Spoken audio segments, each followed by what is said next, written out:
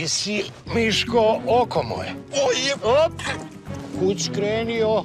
A, kućaš? puštaj, imam pištolj, imam bombu čep. Ma imaš ti govnu. I- Imam majke mi poču na sve. Miško, smir se, neće mat ništa. E, pa dobro, šta ste došli onda, šta me drži? Došli smo samo da razgovaramo. E, baš se lako razgovaraj. Evo, Andrija će te pustiti ako obećaš da neš bježat. Ne, ja ću kulem se, samo me pusti Andrija u gucu se majke. Ajde, dobro, ajde, šta da cviliš, šta cviliš, malo sam te privatio, ti cvili. Ma šta malo, skoro si me zaglušio tim gručetnama, bogati. Mir si, slušaj me. A, Moraš ići Canova. šta, di?